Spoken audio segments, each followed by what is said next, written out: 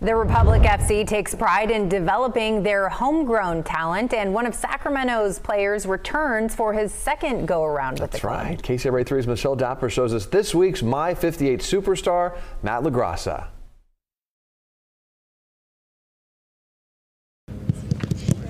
the weather. Oh, the weather is so great.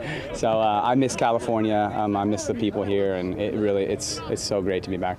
Matt LaGrassa returns to Sacramento to roam the midfield for the Republic FC. To make my way back in front of these fans and, and in front of my family every week is just like a blessing.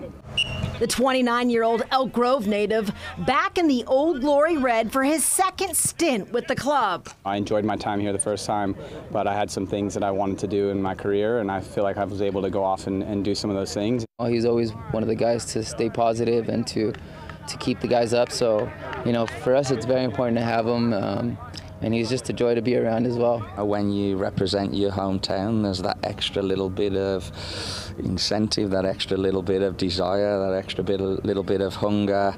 And the Republic FC wasn't the only hometown club that helped Matt shape his game. San Juan was was a great club. Um, you know, I played for various different clubs around the community. Um, you know, Pleasant Grove was a huge piece, and I think each place, you, like I said, you take a little bit away from, and it becomes a little bit of, of, of who you are. Bouncing around the different soccer clubs across the region while picking up a soccer ball to pose with dad. By the way, I love his dad more than him though. So if his dad's watching, I hope he's watching. He's a cool, he's a cool cat. It was his birthday yesterday, so happy birthday, Dad. LaGrassa went off to college to play for the Cal Poly Mustangs, where he tamed his game and still remains in the top 10 in points, goals, and appearances. Cal Poly did a, a great job of um, shaping me as an athlete, and I had some great coaches along the way. Squares it across. LaGrassa! Matt bounced around the USL and for four seasons found a fit in Nashville, including two years with their MLS side. Picks out Matt LaGrassa! Getting out of the state and going to Nashville and all that stuff, it just it just changes you, and um, I think a lot of it's been for the better, and, and I'm, I'm really proud of it. The crafty veteran continues to attack and distribute while delivering a spark of leadership.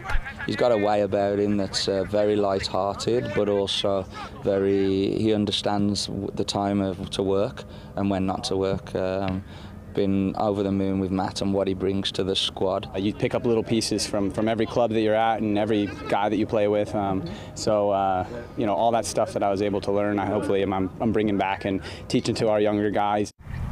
In Sacramento, Michelle Dapper, KCRA 3 News. Matt and the Republic get back to work as they travel to Detroit for a match on Saturday at 4:30. Good luck. And if you have an athlete, coach, or team that you would like to nominate as a My 58 Superstar of the Week, email us at superstars at kcra.com.